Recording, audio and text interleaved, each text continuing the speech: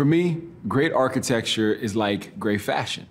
While the most daring and outrageous designs might look fantastic on the drawing board or catwalk, there's no way I could ever pull them off in a regular street.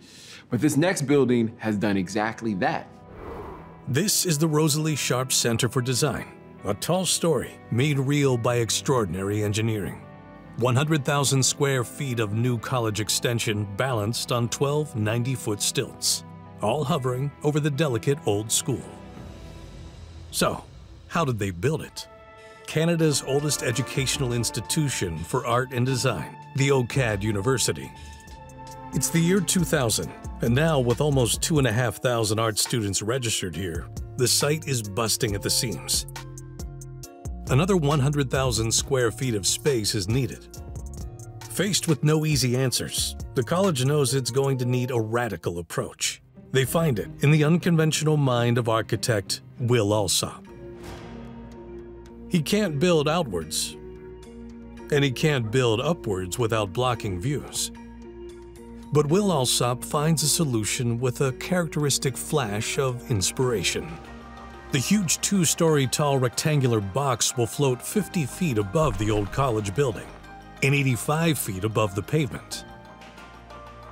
Its main support will be a concrete core that will also take all the plumbing, wiring, elevators, and stairs but this will still leave the 275-foot-long structure precariously balanced. So six pairs of 90-foot-long steel legs will be added in strategic positions to support its massive weight. The first challenge is how they're going to build the 1,300-ton steel frame above the old, but still active, university building.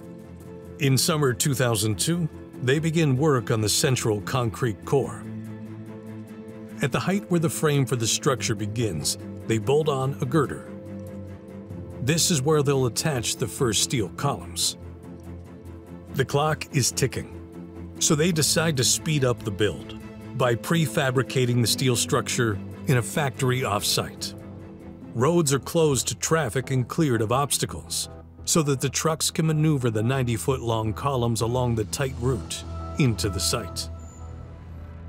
As each column arrives on site, it's hoisted into position and fixed. Once there, they need to bolt each of the legs into place on a system of foundations engineered to withstand an earthquake.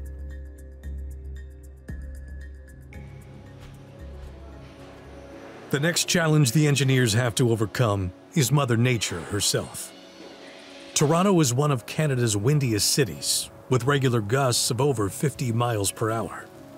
To prevent metal fatigue and even structural failure caused by the constant pounding of the wind, the team engineers the building to move a little, absorbing some of the force.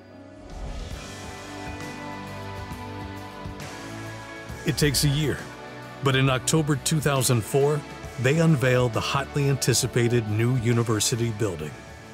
The university has its extra 100,000 square feet of space for art studios, classrooms, exhibitions, and offices. And it has it in style.